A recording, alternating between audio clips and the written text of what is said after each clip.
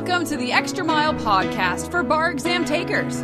There are no traffic jams along the extra mile when you're studying for your bar exam. And now, your host, Jackson Mumey, owner of the Celebration Bar Review. Well, hey, everybody. Welcome to the Extra Mile podcast for bar exam takers. This is your host, Jackson Mumey.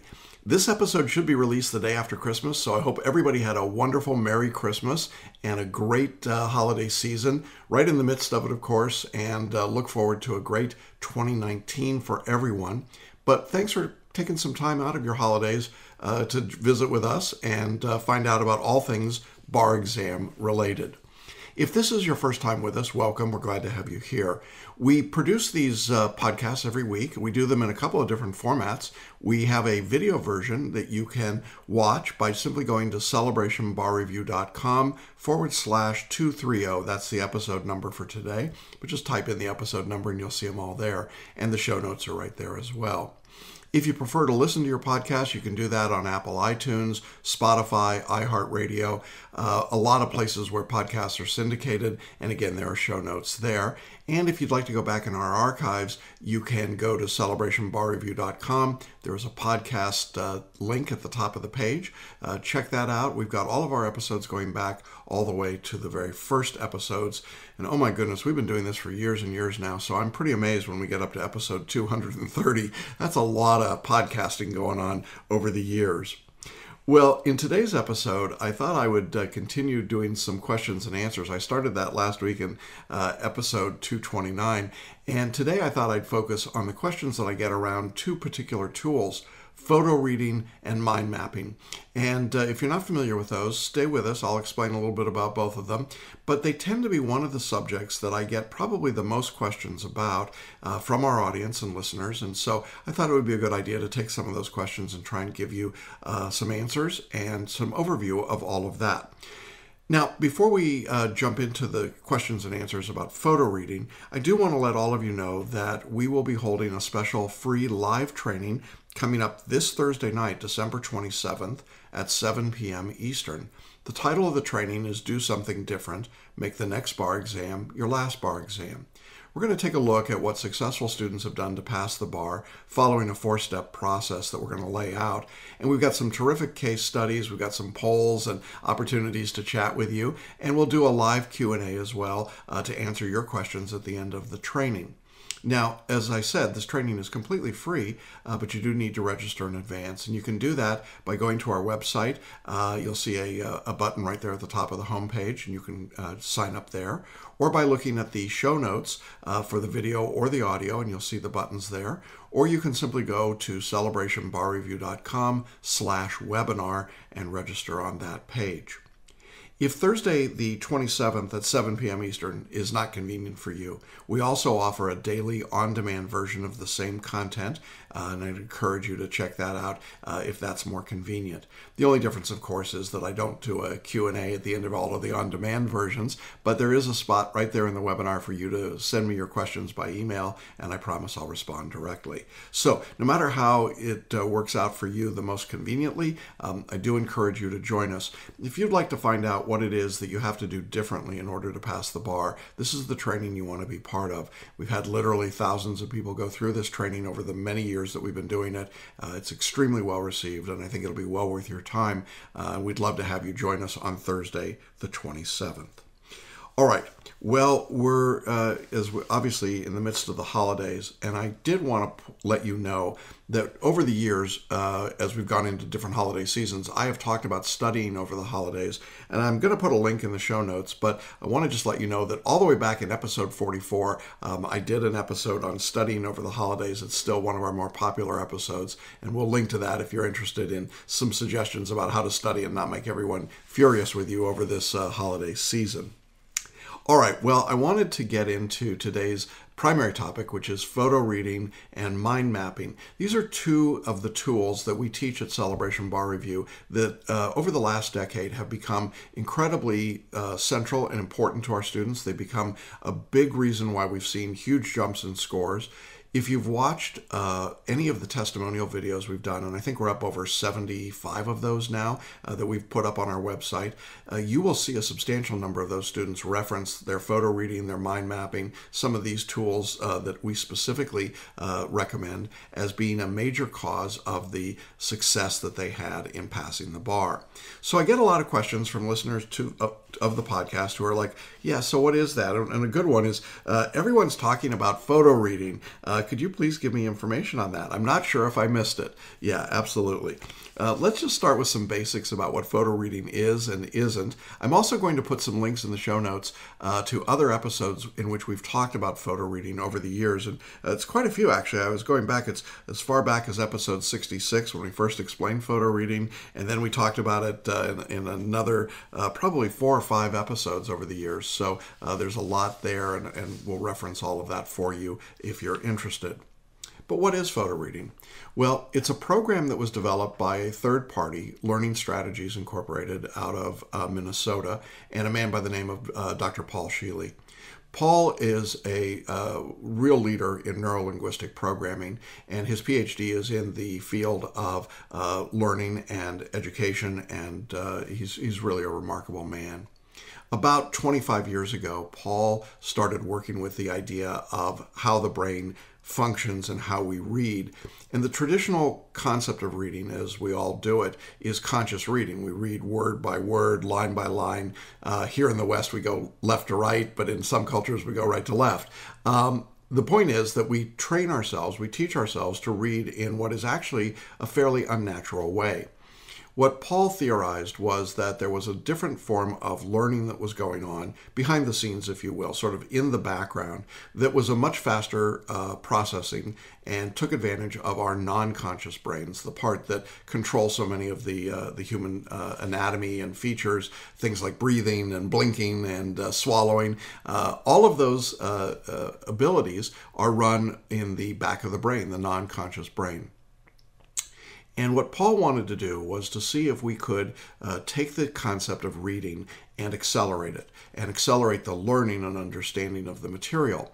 And so, working together with others, he created what ultimately became known as the photo reading system. Now, I, have said this to Paul, and I will say it here. I think it's a lousy name because, unfortunately, what it makes people think of is it's speed reading, and it's not speed reading at all. Uh, photo reading is literally taking a mental image, a mental snapshot of each page at a very rapid rate. In fact, the uh, per page or per word rate for a photo reader can be as high as 25,000 words per minute. Now, the traditional uh, lawyer or doctor has been timed on technical materials at 110 words per minute. So you can compare 110 words a minute versus 25,000 words a minute. Something's obviously different. You can't speed read at 25,000 words a minute. But what you can do is take a mental image of each page going into the non conscious brain, into the non conscious processor. Photo reading is a course designed to help you learn how to do that, and more importantly, how to extract what you've put in to that non conscious processor for better recall, better retention of material, better understanding, deeper understanding of material. So, the background is that uh, about 10 years ago, um, I was looking for a way to help some of my uh, students who were beginning to really struggle with the exam. This was the start of the downward slide in pass rates across the country. And I was catching the first wave of those students coming out of the big box bar reviews who simply weren't succeeding with traditional study methods. And so I started casting about for a better way to teach people how to study for the exam. One of the things I came across was the photo reading home study course, and I decided to try it for myself, and I was skeptical about it. Um, it didn't seem plausible to me that you could read that quickly and retain any information at all. So I uh, bought the course, uh, took it home, and studied using back then CDs and uh, you know some pretty crude materials. And uh, in a series of eight one hour lectures, um, I learned the process, the technique of photo reading, and I decided to start applying it. And really, I will say, almost from the beginning, I was uh, impressed and amazed at what was happening for my own reading. I was suddenly able to read not only huge tracks of material, but then have access and know the material at a deep level in a way that I couldn't before. Now, I want to be clear about this. I didn't know it in the conscious mind. I didn't have a photographic memory of what was going on. What I had was an understanding intuitively of what was happening, so that if I were asked a question about it or asked to pinpoint a particular piece of information within the book or material, I could do so very quickly. And I didn't know why, I just knew that I could. I also knew that by having taken the system under my wing and starting to use it as I looked at the bar review materials, I was really stunned at how much it lined up with what a bar student had to do. There's obviously a ton of material that you need to read, and it's very detailed and very technical and very specific. There is no way that I'm aware of that you could memorize all of that work. No matter how many hours you put in or how many flashcards you made, no matter how many mnemonics you created, it just isn't going to happen. You know, there was a bar review course many years ago in New York where they made the students literally write, transcribe word for word their lectures because they were trying to get the student to know all of this material kinesthetically. Well, I think they had the right idea, but the wrong application.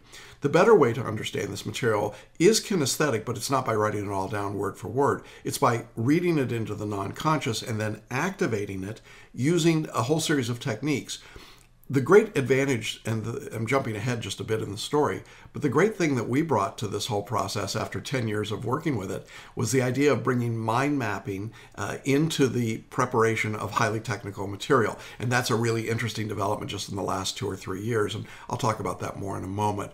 But interestingly enough, what we began to see almost from the outset was that you could absorb huge amounts of information and have it at your fingertips when you needed it, whether you were taking a multiple choice test or you were doing an essay. And it was an extraordinary tool. So I was excited about it, but I was also a little leery of producing and selling that and talking to people out in the, the world. So I very quietly went to a few of the students that were having the most difficulty in, in passing the bar. And I asked them if they'd be willing to try this. Um, and I guess my theory was that they had nothing to lose, so why not? And I think that was their approach as well. You know, it sounded crazy and ridiculous, but okay, I'll try it. Well, almost right out of the gate, we started seeing success. Scores started jumping up. Uh, results were changing dramatically. We had people passing bar exams who had taken multiple times without any hope of success previously. And they began talking about photo reading. And as we started doing some interviews with them and talking to them and having them share their, their uh, responses and thoughts with our current students, they kept bringing up photo reading. And then my current students would say, well, what is photo reading? What's that all about? Because I wasn't offering it publicly. So over time, uh, it sort of acquired a life of its own, a momentum of its own, and we began to find ourselves with more and more students who wanted to do photo reading. Well, that inspired me to go ahead and become certified as a photo reading trainer with Learning Strategies. I had the privilege and continue to work with uh, their top trainer nationally, Millicent St. Clair. I've taught live with her at a couple of our boot camps. Uh, I've been at sessions with her, and of course, I've worked with Paul Scheele. And um, it's been an extraordinary opportunity for me to really take a very deep dive in this technology and theory and working with it, and then bringing those results back to the folks at Learning Strategies and saying, What do you think?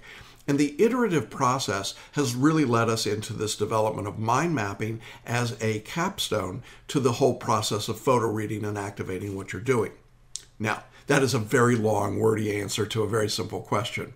Photo reading is a system that allows you to read an outline for the bar review in about 15 minutes. That means you can read it many, many times between now and the bar exam date. In fact, students often tell me they read 50 to 100 times or more each outline in the course. By photo reading, uh, what you're doing then is taking that material and then starting to activate it in smaller sections or chunks through mind mapping.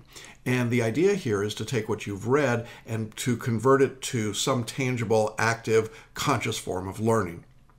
So, when a student signs up for photo reading in our course, what we do is give them access to uh, eight one hour audio lectures from Paul Scheele about the technique of photo reading. And they do those while they're studying for the bar. So, an hour of their day is photo reading, and then they've got another couple hours a day of bar study. You don't have to do the photo reading before you can get into bar study. But most of our students start photo reading a bar outline after about three or four photo reading lessons. So it doesn't take very long to learn it. It's literally flipping pages. I mean, that's the, the most basic uh, explanation of it. And when that process starts to happen, then that's when the magic starts to occur. We start to see people improving their multiple choice performance and their uh, quality of knowledge of the law in essays. We see people getting ready to write performance tests with 20 minutes of preparation instead of 40 or 45. It is truly remarkable.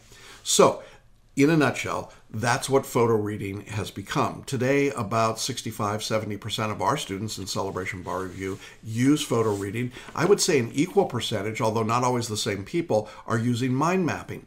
So, what's a mind map?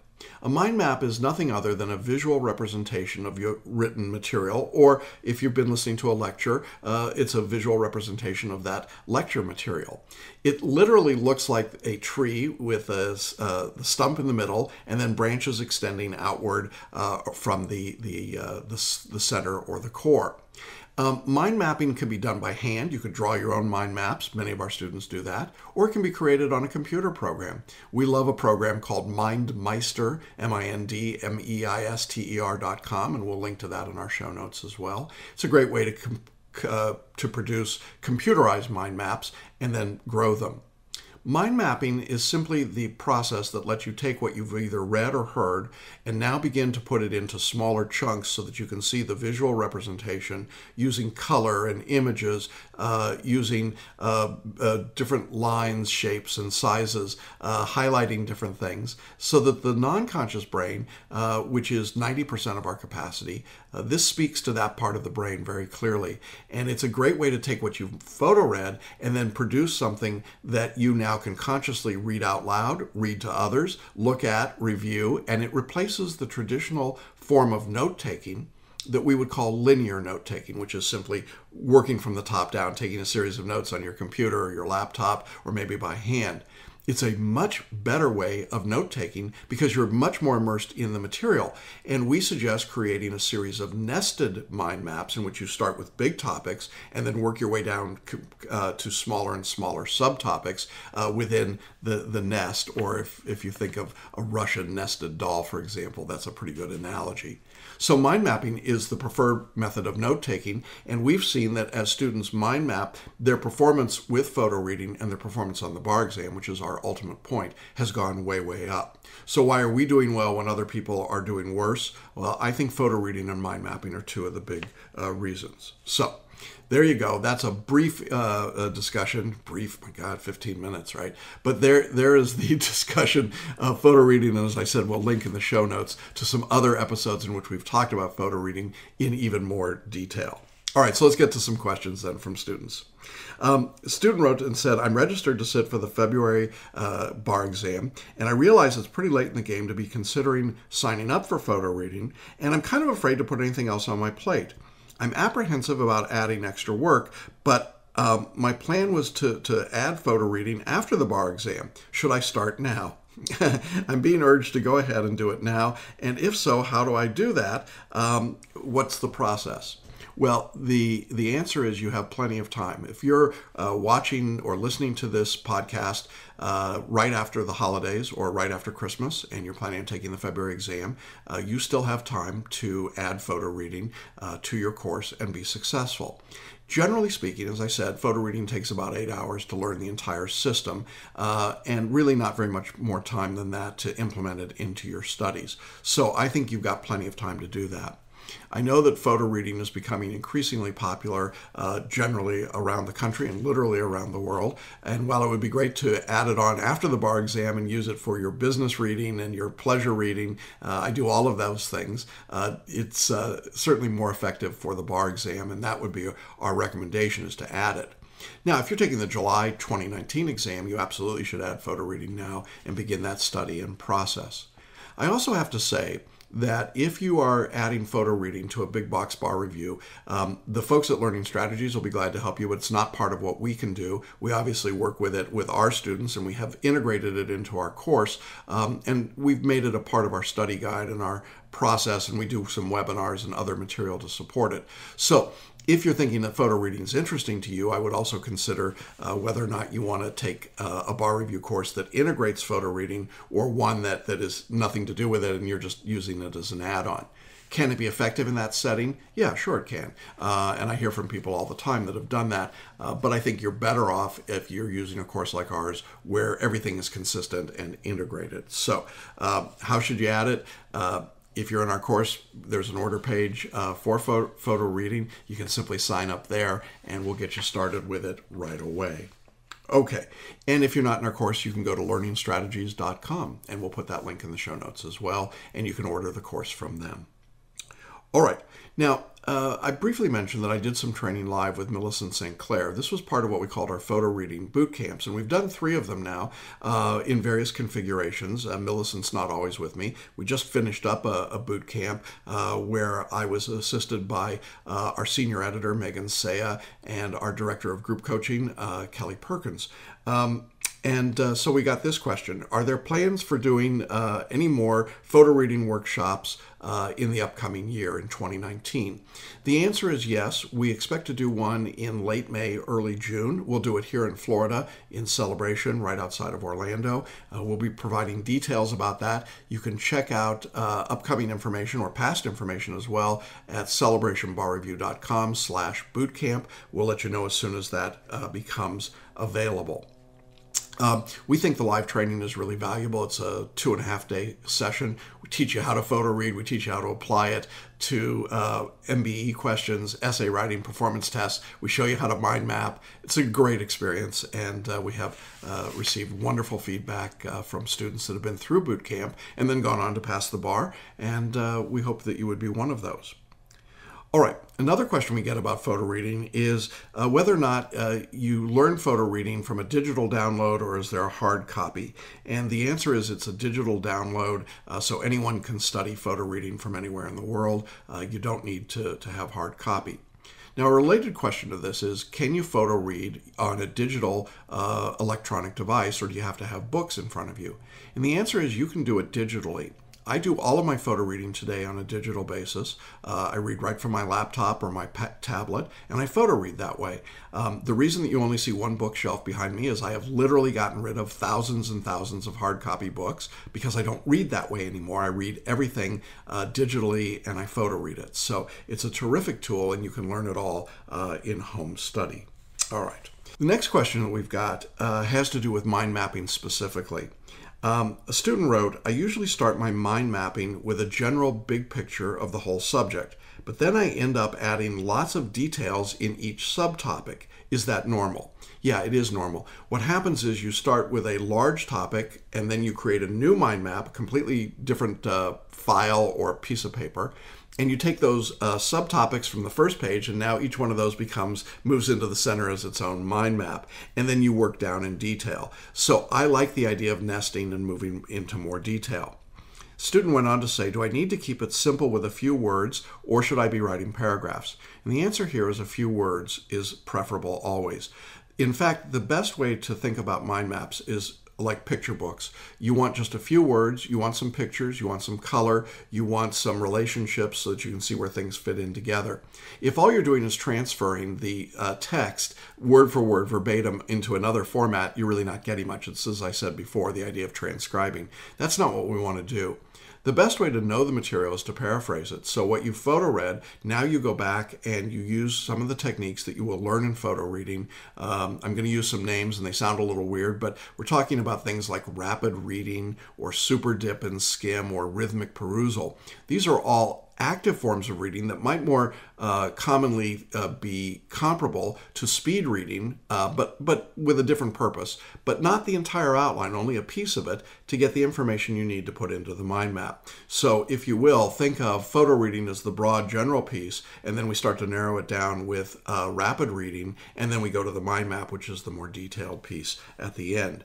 Um, paragraphing, though, you don't want to do that in a mind map. Uh, don't make your mind maps too long. Uh, make your mind maps just a few words. And in the process of breaking down a concept to just a few words or a phrase, you're really forcing yourself to understand the material to be able to own it and know it. And the key here is that once you've done that in preparation, when you get to a bar essay, for example, now you have the phrase and the words, uh, and they will come to you. Uh, you won't know why they've come to you. You did not sit down to consciously memorize them. You'll simply know them. And uh, it's quite an experience when it starts to happen. The same thing is true in a multi state question. You'll simply know what the answer is. You won't have to sit there and think about it. It will be clear to you. In fact, we've had students in interviews say, you know, I could see the answer coming up in a different color, literally in my, my mind's eye, as I was reading through the problem. This is a fairly common phenomenon, and it makes a huge difference. And that's why we can see students with 10, 20, 30 point jumps on the MBE. That, in uh, my 30 years, was never possible until we got into photo reading and mind mapping. All right, another mind mapping question. I use mind mapping for a general picture of the subject, but I also know it could be used to mind map questions if I get a question wrong. That's uh, that's a great idea. One of the things that we suggest is that if you do a multiple choice question, that you go and read the answer explanations. In our course, we provide explanations for every uh, question, and of course, these are all license questions in our course. Well, what do you do with that after you've looked at the explanation? Many of you uh, make flashcards or you keep journals or you take notes, and you may or may not ever go back to those notes again. Well, in our suggestion, what you do is you go go to those explanations and now you create a mind map uh, for that topic, or you find where that topic fits into your existing mind map and you take the core of the explanation, the heart of the, the answer, uh, and you put that into the mind map. And um, I think it is a, uh, a great way to be able to get the value out of doing practice questions because now you're really being able to see where it fits into the broader taxonomy of a subject, how it fits into the overall understanding of the subject, um, and I think it makes a big difference. This student said, right now, if I get a question wrong, I write down the explanation, but I don't mind map it. Um, and uh, you know, I think that you get more effectiveness when you mind map the answer explanation. And they, they then went on to say, do you map it into the general map of that subject? No, you probably are mapping an answer explanation at a deeper level of the mind map. That is, rather than the table of contents level, now you're probably looking at something more specifically. So if I'm doing torts negligence, uh, maybe this particular problem turned on uh, proximate cause. So I'm looking at the negligence mind map, I'm looking at the elements of negligence, and maybe I'm even in a more specific part of that with proximate cause, and now I create a new branch uh, just with this particular permutation. So it's a way to keep your mind maps growing and developing. We often say to our students that Mind maps are dynamic, not static. They're not something you create and then paste up on the wall and leave them. They're actually something that continue to grow and develop as you go through your studies right up until the very end. And in fact, we even recommend to our students that they record out loud reading their mind maps and then save those recordings and play them back uh, as a way of hearing in their own voice a discussion of the material. So it's a very, very effective study. Now, one question that comes up is well, that obviously sounds like it takes a lot of time. Where am I going to find that time? Remember, most people will need, on average, about 8 to 10 hours to read one subject in a bar review outline. I mean, think about your own studies, whether you're in our course or somewhere else. That's probably pretty typical, that 8 to 10 hours. Our students who are photo reading read that same material in 15 minutes. So you got a lot of time there that you could use that you were reading that you could now mind map. You won't need eight to 10 hours of mind mapping, trust me. But it's still a net time saver when you photo read, and you can keep going back and photo reading and photo reading and photo reading. All right, another question. Um, I know you prefer that students not take notes during lectures, uh, but with a difficult subject uh, like an MBE subject like property, what do you recommend? Should I listen to the lecture without taking any notes or do something different? Our answer is you should probably keep your mind map in front of you. And as you're listening to the lecture, just as you would if you were in a classroom setting, add to your mind map. If you hear something that's interesting or makes sense to you, add it to the mind map. Don't try to just take a literal sense of notes. I think for most people, note taking in class has really become an exercise in futility. You do it, you, you finish it, you close it up, and you never look at it again. And it really was only there to keep you from falling asleep or losing your mind during the lecture. So I think it's much more effective to actively be engaged in the material. And of course, in a home study course, you can always turn off the lecture. and go right in and uh, uh, you know add to your mind map and then start the lecture again. So uh, lots of ways to, to take your notes but i think that's a good way to do it is to mind map uh, through that. All right.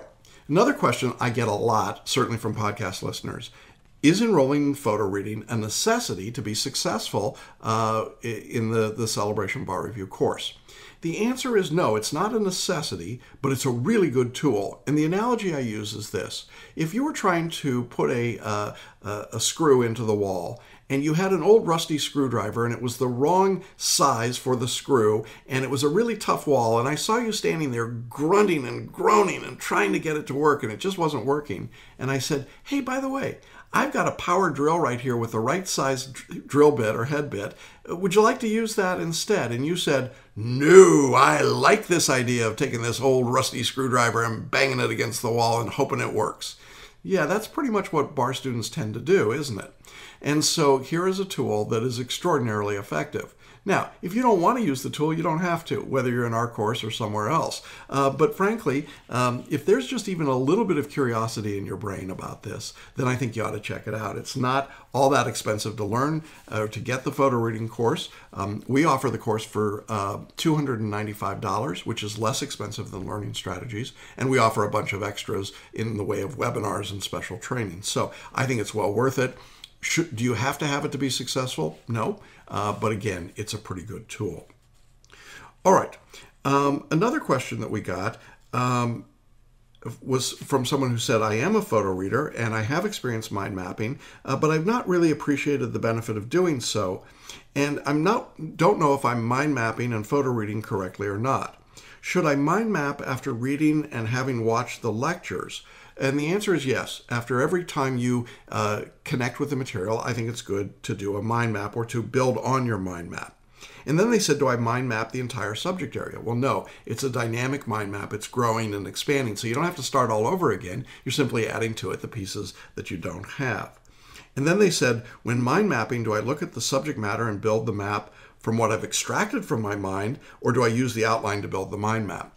Well, really, what you do is you start with the outline, you create the mind map, and then you begin to activate through rapid reading, uh, super dip and skim, rhythmic perusal, all techniques that we teach you in photo reading for a particular body of material. So it's really a combination. It's what you photo read, activating that, and what you're looking at in the outline.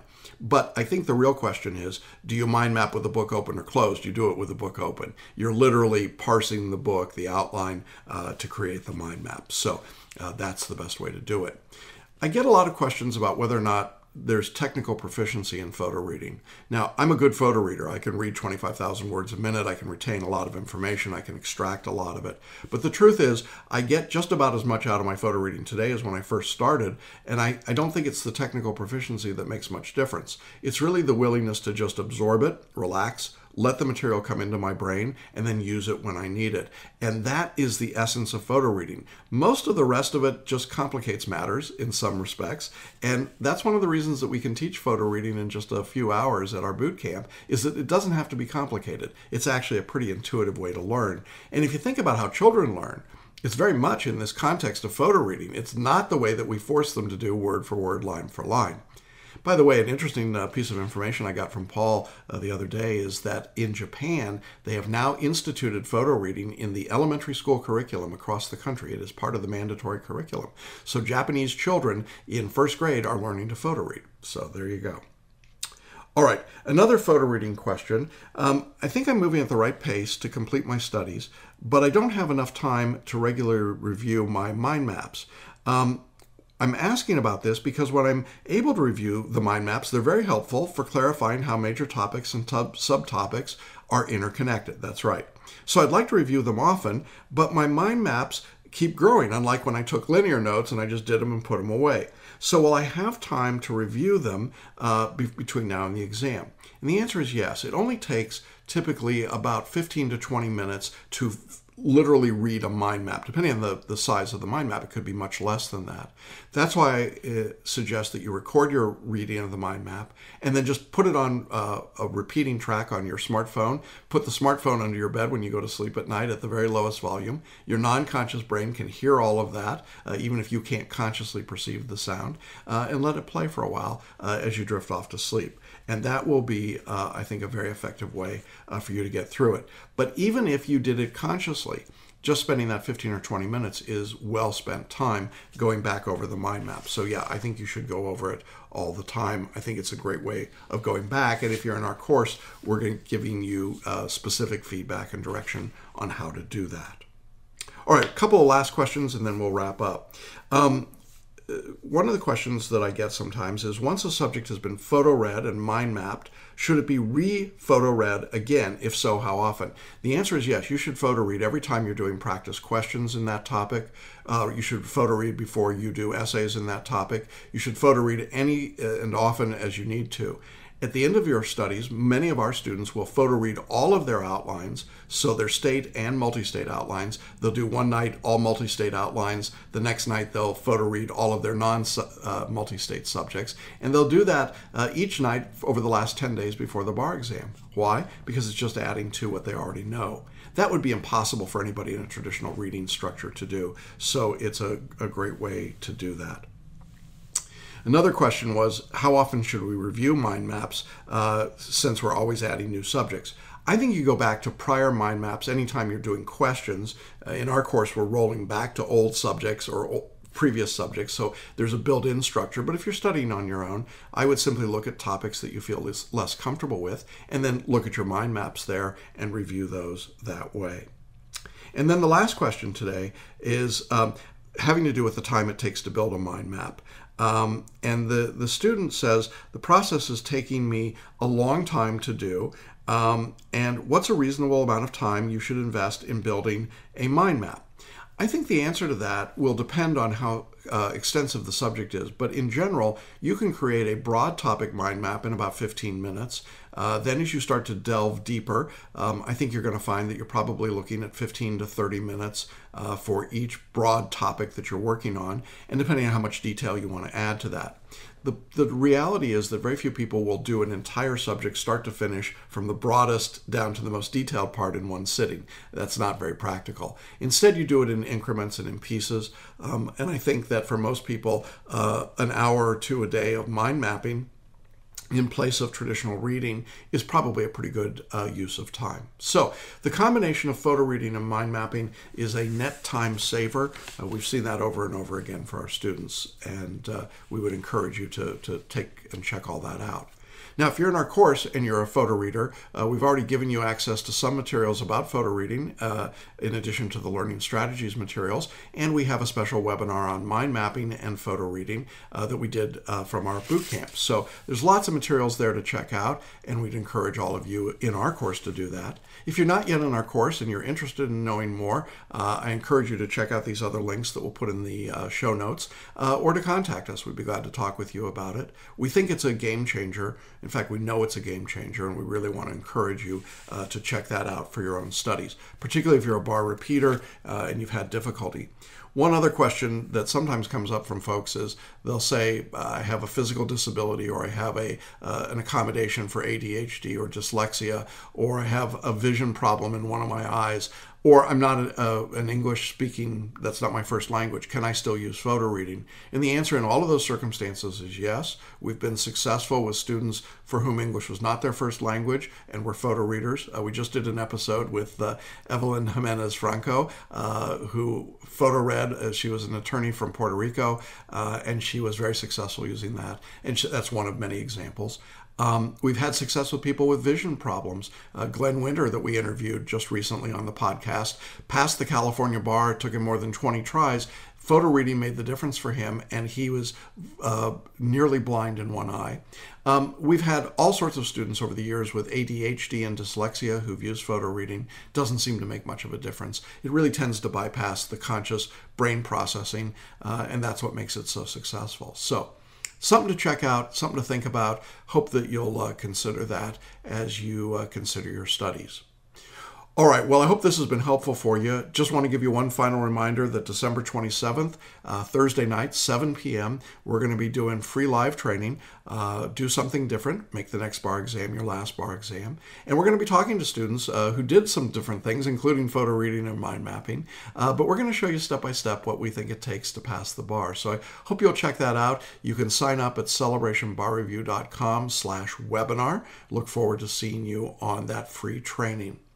Well, I hope everybody has a wonderful uh, holiday week. Uh, we'll be back right after New Year's uh, doing a, a, uh, recap of uh, 2018. Wow, what a year.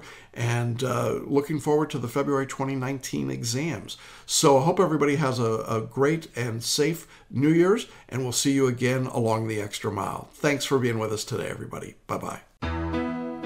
Thanks for listening to the Extra Mile podcast for bar exam takers at www.celebrationbarreview.com.